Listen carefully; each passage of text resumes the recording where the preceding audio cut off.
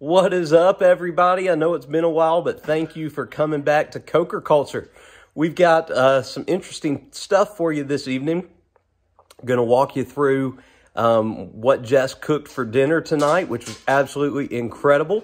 And then Chad and Ty want to take a minute of your time to give you some of their tips and tricks about Universal.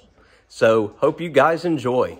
Hey guys, it's Jess. So I am about to start making dinner. So we're gonna make crispy chicken and pickle sandwiches.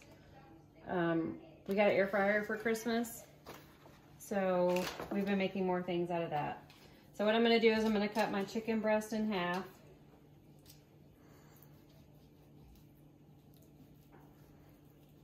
And then I'm gonna marinate them in some milk. Okay, now that my chicken is in pickle juice and milk, we're gonna make the uh, flour mixture to dip the chicken in. So you need an egg and like a half a cup of milk.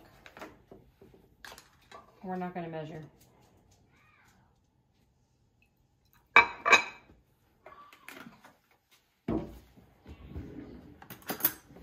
So we're gonna mix it up.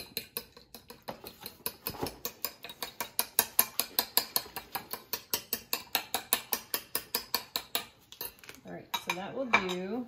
Now it says to pour some flour into a bowl, a bowl for once our chicken is done marinating with some pepper and some salt.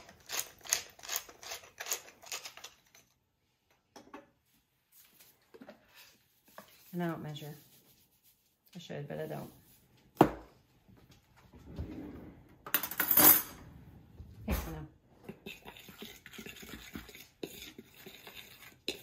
So next, in just a few minutes, we will... All right, now our chicken has marinated in our pickle milk. So we're gonna dip it in our egg and milk.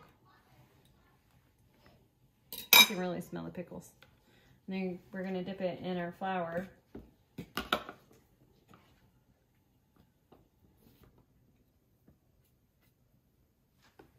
And then we're gonna put it in our pan.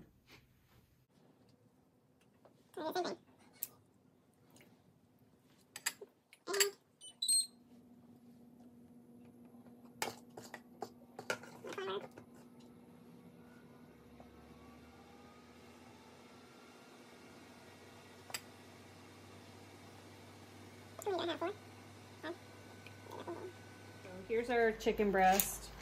I'm just gonna put some pepper over it. And then we're gonna put it in for six minutes.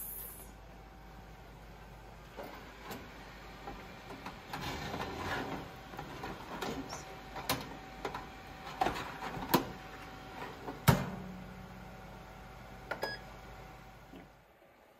All right, so I think it's done. At least I hope it is.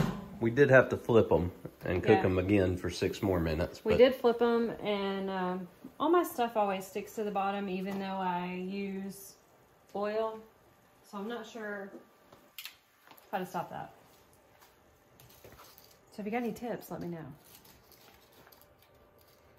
So here's our one chicken breast. They're not really brown, but maybe they'll taste good. Let's see which one you want. It doesn't matter. They sure look good. See, all the stuff sticks to the. Hot. So the finished product looks really, really good. It does. I just wish it was more brown, but it looks delicious. It smells good. And we're gonna add some cheese on top of Zach's. I don't want cheese. Let me put it back in and warm it up to melt it. So there is the finished product. It looks really good. Can't wait to dive in. Got some Checkers fries we cooked here to go with it. They weren't cooked in the air fryer though, but looks great. Gonna throw some pickles, some honey mustard on this, and can't wait to dive in. All right, everybody. So Chad wanted to give his tips and tricks to everybody that's thinking about or planning on taking a Universal trip. So go ahead, Chad. Okay, so number one, if you're planning on riding some rides that have like really long lines for like Hulk and some other rides, then I suggest you getting one of the Fast Pass memberships and stuff. And um, maybe trying, and if you're mostly going to be interested in trying to get some of the drinks at Universal, you should probably get one of the refillable cups at Universal. Um, oh, and if you're going to Island of Adventure to ride the Velocicoaster, then just like don't because there's no fast pass for it yet. It's just like regular lines and single riders. But do not do single riders because that takes much longer. What's your favorite thing to do? You already know, Dad. Velocicoaster. Todd, what about you? What's your favorite thing? Probably Hagrid. Oh, yeah. That one's a good one. But I have I need to go to the Tilted King Tower. Anything else y'all want to say? Nope. Um, not really. Nope, and we'll tell him the secret. And that'll just about do it here for us tonight at Coker Culture. Short and sweet this evening. Hope that you guys enjoyed. A little peek into our evening life here. I'm going to be getting the boys ready for bed uh, real soon because they've got school in the morning. Until then, peace and what's your why?